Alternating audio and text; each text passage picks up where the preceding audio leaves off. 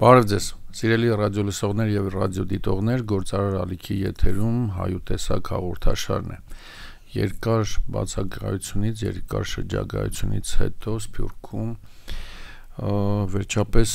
վերադարձել եմ Տաղավար եւ այսօր իմ հյուրն է Թումանյանագետ Անի Եղազարյանը։ Բարև ձեզ։ Բարի օր։ Ես գիտեմ, որ ինչ իմ ճամփորդելը դուք էլ եք ճամփորդում Սփյուռքով, ինչը որ կարծում եմ յուրաքանչյուր հայի հոգևոր պարտքն է եւ գաղափարական Սփյուռքը հայ պահելու, Սփյուռքին հայրենիքը վերադարձնելու մեր միջոցով, մեր գաղափարների, մեր մշակույթի, մեր լեզվի եւ կուզեի, որ մի փոքր ավելի նկարագրեք թե ինչպիսի ճամփորդություններ որտեղ եւ ինչ խնդիրներ կային եւ ինչ ուրախանալու առիթ կար Սփյուռքում Մինչ այժմ իմ ճամփորդությունները առավելապես կապված են եղել Թումանյանի հետ եւ Թումանյանի խոսքի եւ գաղափարների տարածման հետ բացառություն չէ նաեւ վերջին ուղևորությունը Լատինական Ամերիկա մի տարածք, որտեղ Դոմանյանի ծննդյան 100-ամյակին օվկիանոսներով շրջում էր մի մեծ նավ, որը շոկենավ, ջերմանավ, որը կրում էր Թումանյանի անունը ՅՈՒՆԵՍԿՕ-ի կողմից ուրեմն այդ շրջանում ՅՈՒՆԵՍԿՕ-ի կողմից հատուկ նշանավորվել էր տարին 1969 թվականը եւ մի ամբողջ ջերմանավ անվանակոչվել էր Թումանյանի անունով եւ ջերմանավը եղավ բազում հայկական գաղթօջախներում, այդ թվում նաեւ Լատինական Ամերիկայի երկրներում։ Եվ կարծեք 50 եւ մի քիչ ավել տարի անց դրա ուղիղ շարունակությունն էր այդ երկրներում լինելու եւ տեսնելու թե շրջագայության հիշողությունները ինչպիսին են եւ առասարակ և ինչպիսին է ընկալումը Թումանյանի եւ պիտի ասեմ, որ այդ ձևակերպումը եւ ցանկությունը առավելապես այնտեղ ապրող հայերինն է եղել եւ ականջալուր չլինել նրանց այդ կանչին եւ չգնալ դեպի այդ կանչը ես կարծում եմ որ նվազագույնը պիտի որ ուղակի մեղանչած պիտի լինեի Թումանյանագետ լինելու հա այդ պատվին, որ տարիների աշխատանքի արդյունքում փորձել եմ արժանանալ։ Եվ եւ եղավ չափազանց երկու ստեկ, այսինքն եւ ինձ համար եւ համայնքների եւ նաեւ տեղացի ժողովրդի հետ հա, հանդիպումները արդյունավետ բավական եւ այդ արդյունավետության գնահատականը այնքանով եմ հիմա կարողանում փաստագրել, որովհետև իրենցից եմ ստացել արձագանքները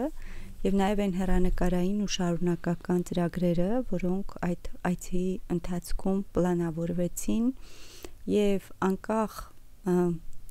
հետո ծավալված իրադարձությունների ես փորձելու եմ դրան շարունակականությունը ապահովել եւ այն ակնկալիքները, որ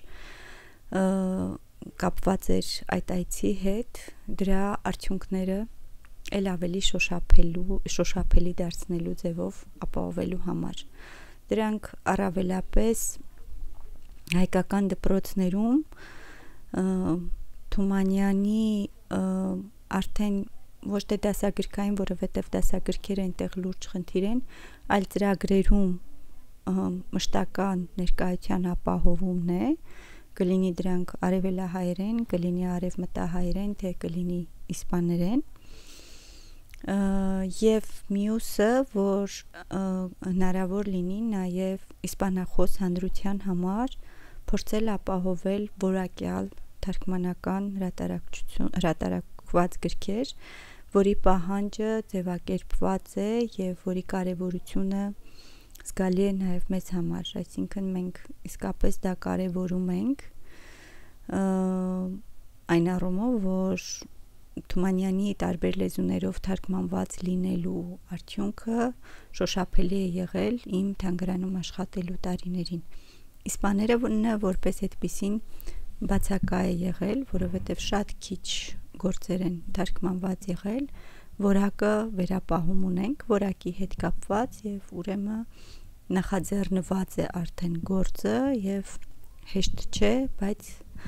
անհնարին էլ չէ Գիտեք, իրականում մի էսպիսի հարց անընդհատ պատտվում է։ Բավական է ունենալ մի կոմիտաս մի ստվար հատված հայ պահելու համար Սփյուռքում, բավական է ունենալ նժդե, բավական է ունենալ մեկ Թումանյան։ Այլ ոչ թե ով է Թումանյանը, այլ ինչ է Թումանյանը, որով հնարավոր է պահպանել հայի նկարագիրը։ Այդպես չարաշահելով հաղորդման վերնագիրը հայու տեսակը պահպանել ինչ է Թումանյանը ըստ ձեզ որ հնարավոր է այդպիսի հզոր գործոն դառնալ որպեսի ազգի մի հատված հայրենազուրկ ցեղասպանված, սփռված աշխարհում մեկ բառ, որը աշխարհում ոչ մի լեզու մեջ իր համարժեքը չունի, այս սփռված հայերի մեջ ինչ գործոն է դառնում, ինչ կռվան է դառնում, որ ազգը նորից բերվի դեպի ափ, եթե ոչ ֆիզիկապես, ոչ աշխարհագրորեն, ապա հոգեպես, հոգևոր տեսանկյունից վերադարձնել դեպի հայրենի ափ յուրաքանչյուրը այն անհատականությունների, որ հիմա թվարկեցիք եւ էլի անուններ կարելի են ավել կարելի ավելացնել եւ անշուշտ դա մեր հարուստ գանձարանն է, որը միշտ պիտի որից մենք պիտի միշտ սնուցվենք նրանցից յուրաքանչյուրը ազգային գաղափարախոսություն է երբեմն մենք ասում ենք որ մենք չունենք ձևակերպած բայց մենք առանձնակի ձևակերպելու կարիք կարծեմ թե չունենք մենք ունենք արդեն այն գործող տեսակները, որոնք գործել են եւ որոնք ցույց են տվել իրենց գործի արդյունքները։ Եվ ուրեմն մեկ Թումանյան, մեկ Կոմիտաս, մեկ Նժդեհ կամ մեկ Չարենց կամ մեկ Կոստանզարյան, Կոստանզարյան կամ մեկ Մաշտոց կամ մեկ Նարեկացի, Մաշտոցը մեկը չէ, մաշտոցը շատ է։ Այո, ուզում եմ ուզում եմ ասել, այս մի ազգի չէ, 10 ազգի մեկ մաշտոց է։ Այո, սրանք լոկ անուններ չեն։ Նրանք մի ամբողջ գաղափարախոսություն են եւ գործած ու գործող։ Սա չափազանց կարեւոր է։ Մենք մեր իրականության մեջ նրանց ադապտացնելու անհրաժեշտություն չունենք։ Մենք ընդհանրապես անհրաժեշտություն ունենք նրանց մեր կյանք բերելու մեր կյանք բերելու եւ հետեւողական լինելու նրանց արածին որովհետեւ երբ որ մենք հիմա շարք ենք նշում անունների նախ նրանք այդ հաջորդ ականության գրողն են եղել նրանք չեն հեռացրել իրենցից այդ արժե համակարգերը իրենք դրա ուղիղ արմատին ամուր կարճած լինելու շարունակականության ապահովողներն են եղել եւ եթե մենք այնքան ապաշնոր չենք որ չենք վերցնում ու ուղակի հատում այդ ծառը, այլ մենք էլ դառնում ենք մի դալար ճյուղ։ Ծառի այն ճյուղը, որի վրա նստած ենք։ Նստած, այո, այլ մենք էլ դառնում ենք ծլարցակող, բողբոջող, եւս մեկ ճյուղ, եւս մեկ տերև, պտուղը մենք կտանք սերունդներին հա մենք այդ ծառի դալարության ապահովողը պիտի լինենք հակառակ դեպքում եթե մենք այդ ամեն ինչը տալիս ենք մոռացության եւ մեզ թվում է թե մենք պիտի լինենք այսօրվա նոր ինչ որ բանի ծնողը պահողը կամ ստեղծողը մեր ձախողումները մեկը մեկին կհաջորդի ուղակի Գիտեք, աշխարհը կարծում եմ, որ մեզ մեզ դեմ, մեր դեմ կռվում է հենց այն պատճառով, որ մենք չենք կորցրել ինքնությունը։ Եվ երբ որ Արցախի վերջին իրադարձություններին մի քանի երկրներ կամ մասնակցում էին եւ դրանից մի քանի անգամ ավելի շատ երկրներ շահագրգռված էին հայի կոտրելուն, հայի տեսակ կոտրելուն, հայի ինքնությունը կոտրելուն, վստահաբար իրենց խնդիրը փոքրիկ հողակտորի խնդիր չէ, այլ մեր ինքնությունից ամուր կարճած լինելու գաղափարը։ բայց երբ որ մենք նպաստում ենք դրան, մենք ինքներս չենք գիտակցում մեր արժեքը։ Երբ որ այսպեսի մի երևի իրական տիպված կա, որ Շիրազ այլ այլայլված մտնում է Իսահակյանի մոտ, վարպետ ասում է, ինչ է պատահել։ Ասում է, «Է, վարպետ մի խոսա, ես գրող չեմ»։ Ասում է, «Ինչ է պատահել, Օնիկ»։ Ասում է, «Վարպետ կներեք, բայց գի դուք էլ գրող չեք», ասում է, «Օնիկ կարող է լինի արեկացի ես կարդացել»։ Այսինքն հազարամյակ անց նարեկացին արդի է ու գագաթ է մենք փշրանքներից ենք խոսում մենք ուզում ենք փշրանքներին պարտվենք, երբ որ նման գագաթներ ունենք։ Մենք Թումանյան ունենք, որը վստահաբար նույնիսկ ռուսական Պուշկինի հետ համեմատելու չէ իր ինքնությամբ, իր ազգային ժայռեղեն տեսակով, իր ամիջականությամբ, իր ներքին բյուրեղով բայց մենք դրա արժեքը որևէ կերպ չենք ուզում գիտակցենք։ Գիտակցողները գիտակցում են, բայց իրենք էլ մնում են որպես ադամանտ ջրի հատակին, փրփուրը քաղաքականություն է որոշում։ Գիտեք, հիմա երբ որ Պուշկինի մասին խոսվեց, այդ համեմատությունները, որ դեռ իր կենթանության օրոք զուգահեռվեց, միշտ գիտեք ինչ է մտածել։ Պուշկինը ռուս չէր բայց ստեղծեց այդ ազգի համար արժե համակարգ այդ ազգը, որ իր ազգի ներկայացուցիչը չէր, գնահատեց, վերցրեց, գրողը դարձավ եւ սերունդներ կրթեց։ Հայ հողը ասում են Պուշկինյան ոսկեղենիկ ռուսերեն։ Այո։ Հայը հայկական լեռնաշխարում հայ գյուղում ծնեց Թումանյան Թումանյանը տվեց արժե համակարգ եւ ինչ է մենք չպիտի ականջալուր լինենք նրան ինձ համար ունի նա կլսի այո եւ երբեմն այդ համեմատության զուգահեռումները ինձ համար արդարացված չեն հիմնավորված չեն որովհետև եթե ինչ որ եզրերով իրենք ունեն գրական առնչություններ, բայց ազգի կյանքում ունեցած դերի նշանակության մեջ նրանք բացարձակ զուգահեռներ չունեն։ Այո։ Դուք ասեցիք, որ մեղանչած կլինեիք, եթե այդ շրջագայությունը չլիներ, ես Լյուքսեմբուրգում հայ համայնքի հետ շփվելուց եւ բարի բաց դաս կազմակերպելուց Լյուքսեմբուրգի գլխավոր հրապարակում այսպիսի միտք եկա, որ հայրենիքից դուրս, հայրենիքից հեռու լեզուն եւ մշակույթն են մեր հայրենիքը։ Եվ երբ մենք գիտակցված թե անգիտորեն զրկում ենք մեզ դրանից, մենք ակամայից հայրենի հողն ենք մեր ոդկի տակից տանում դուք փորձեցիք չմեղանչել բայց այդպես ճակերտներով մեղանչել եք ինչ որ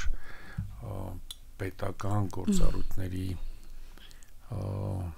հանդեպ եւ ինչ որ մարդիկ դա չեն կարողանում մարսել իմ կարծիքով ձեզ պետք է ապարքեվատրել ահրելի առաքելության համար կներեք զուգահեռների համար ժամանակին մի լրագրող հարցրեց ինչ կարծիք եք որ Օրբելյանին ուզում են աշխատանքից հեռացնեն ասում չեմ ճանաչում այդ մարդուն բայց շատ վատ կարծիք եմ որ այդպիսի նախադեպ կա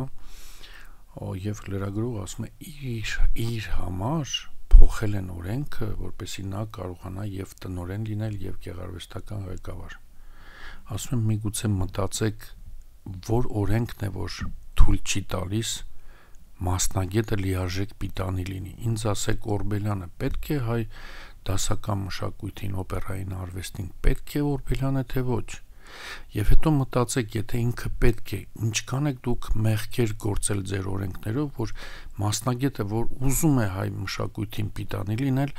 օրենքներ պիտի փոխեք, որպեսի պիտանի լինել։ Հիմա միգուցե օրենքն է տձև ձեզ ապարքեվատրելու փոխարեն ինչ որ այդպես ինչ որ ծվի մեջ մաս փնտրելու հոգեբանությամբ փնտրել ինչ որ միտեղ ինչ որ մի դրվագ որպեսի կարողանալ ճնշում գործադրել որպեսի ազգանպաստ քաղաքականություն չտարվի ես ուղղակի ուզում հասկանամ մտածելակերպը մարդկանց ովքեր տեսնելով ահռելի աշխատանքը եւ փոխանակ խրախուսելու, ապարգևատրելու վրեժ խնդիր են լինում։ Ես իմ ծննդյան օրից մինչև առայսօր Հայաստանի Հանրապետության քաղաքացի եմ եղել եւ լինելու եմ։ Ես ինքս իմ բոլոր առօրյա եւ գործնական եւ որպես քաղաքացի եղել եմ օրինապահ բոլոր հարցերում եւ իրապես ես միշտ երազել եմ եւ գործել եմ հանուն կայուն պետականության, որովհետեւ դա է, որ հնարավորություն է տալու քո ստեղծարար ուժի զարգացման եւ քո ինքնության պահպանության։ Այլ բան է թե օրենքները ում ձեռքին են հայտնվում եւ դրանք ինչպես են օգտագործվում եւ երբեմն օրենքները ում դեպքում ինչպես են հարմարեցվում եւ ես երևի թե ամենա այսպես ասած երջանիկներից մեկը կլինեմ որ մեր օրենսդրական դաշտն այնպիսի կարգավորում ունենա,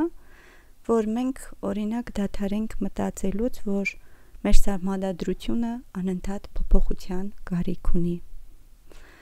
Մեր օրենքները այնքան լավը չեն, որ մշտապես դրանք փոփոխության կարիք ունեն։ Ես չեմ ասում կյանքի բնականon զարգացմանը, զուգընթաց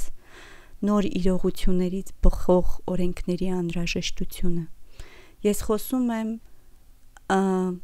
այնպիսի փոփոխությունների մասին, որոնք կամայականություններ են ըստ այդ շրջանի անհրաժեշտության եւ եւ ես շատ այսպես ուղիղ պիտի ասեմ, որ թող որ ես լինեմ իմ դաշտում գործող միակ եւ վերջին օրինախախտը եւ թող որ իսկապես համարվի, որ դա բացարձակ անընկալելի եւ աններելի օրինախախտություն է եղել այն գործունեությունը, որը որ ծավալվել է իմ կողմից։ Ես ձեր չափ բարի չեմ եւ դրա համար կարծում եմ, որ այն ամենայնիվ մեր օրենքները անկատար են եւ եթե այդ օրենքը երկընտրանքի տեղ է թողում, որպեսի դատավորը ճակերտներով որոշի որ ձևով պատժել կամ պատժել թե ոչ ինքը արդեն անկատար է այս տեսանկյունից վստահաբար պիտի ասեմ որ օրենքն է մարդու համար եւ սահմանադրությունն է ազգի համար եւ ոչ թե ազգը սահմանադրության եւ շատ դեպքերում օտարի սահմանադրությունը բերել եւ ազգը խցկել կներեք բառիս համար այդ սահմանադրության մեջ որպեսի ազգը հարմարեցվի, ոնց որ Լևոն Տեր-Պետրոսյանը բերեց ֆրանսիական սահմանադրություն, հետո ինչ որ մեկը կարեց իր վրա այդ սահմանադրությունը, հետո ինչ որ մեկը ձևակարեց կամ վերա ձևեց իր վրա, եւ կներեք Փարիզից եմ եկել, պիտի ցույց տամ, չէ՞ որ Փարիզից եմ եկել, Լյուդովիկոս 14-րդ ասեց պետությունը ես եմ եւ ամեն մեկը փորձում է այդ օրենքները վերաձևել, վերակարել իր վրա եւ պետություն լինել եւ մարդ պետություն լինել եւ որոշել, որ իրենք են որոշում ազգի լինելիությունը։ Ազգը հավերժ է, իսկ ինչ որ մարդիկ երբ որ Գարբաչովը անջատեց Վիկտոր Համբարձումյանի խոսափողը, Վիկտոր Համբարձումյանը շուր եկավ ասեց. հիշում եք ով էր Անգլիայի թագավորը Նյուտոնի ժամանակ Գարբաչովը այլայլված ասեց ոչ իսկ ինչի ասեց ձեզ էլ չեն հիշի չեն հիշելու իրենց որովհետև իրենք այդպես էլ չդա չեն դառնալու Թումանյան Նժդե կոմիտաս իրենք մնալու են ազգի խարանը պատմության համար եւ դրա համար Նժդե որ ասում էր հայի տականքն ամրցելի է վստահաբար կհայտնվեն մարդիկ, ովքեր կտեղավորվեն տակուկ այդ աթոռում եւ բազում շահեկան գործեր կձևեն իրենց համար վստահաբար դուք շարունակել եք դուք ձեր թումանյանական հայանպաստ գործունեությունը եւ հայա կերտ գործունեությունը եւ ոչ Թումանյան ուներ պետական լծակ, ոչ Նժդեհը, ոչ Կոմիտասը եւ երբ որ ստրկամիտ կներեք սովետակրոն հայր ասում են այ որ սովետը չլիներ դուք ակադեմիա չէիք ունենալու դուք ասացողը հայ է այ որ սովետը չլիներ դուք օպերա չէիք ունենալու ասեմ սովետը չլիներ, ես Նժդեհ կունենայի, ես Չարենց կունենայի, Բաքունց կունենայի, Խանջան կունենայի, Միասնիկյան կունենայի որպես պետական կառավարող։ Եվ միթե Կոմիտասին սովետն է ծնել, միթե Թումանյանին սովետն է ծնել, թե Թումանյանի ամբողջ Գերդաստանը ի վերջո հատեց։ Այսինքն այս տեսանկյունից այդ ցավալի է, որ կա իշխանիկի կամ ես ավելի կոշտ կասեի աթոռավորի այն տեսակը, որը հանկարծ հայտնվելով ինչ որ մի տեղում որոշում է, որ ինքն է պետությունը։ Եվ վստահաբար, այո, մենք նաև կարապնարան պատրաստ են գնալու հանուն ազգի եւ դրանով ապրեսնելու ազգը։ Չգիտեմ, վստահ եմ, որ հավանաբար Թումանյանագիտությունը շահել է այս պարագայում, որտեղ ձեր ձեռքերը այլևս ավելի ազատ են եւ ձեր հոգին ու միտքը նաեւ այդպես գործառույթային տեսանկյունից ավելի ազատագրվել են նոմենկլատուր պարտականությունները կրելուց։ Մաղթում եմ ձեզ հաջողություն եւ կուզենայի որ ձեր հետագա գործունեությունը շատ ավելի զորեղ լիներ եւ վստահ եմ որ ավելի ջրդեղված եք եւ պատրաստ ավելի մեծագործելու եւ շատ դեպքերում պարտադիր չի պետական ինչ որ կոչումներ ծիծաղել է, չէ՞, թե ասենք Հայաստանի ժողովրդական արտիստ կոմիտաս ծիծաղելի են կամ Հայաստանի գրողների միության անդամ Թումանյան։ Հիմա գիտեք Թումանյանի թանգարանը ինձ համար եղել է դարբնոց Ես այնտեղ բարիբուն իմաստով կրթվել եմ,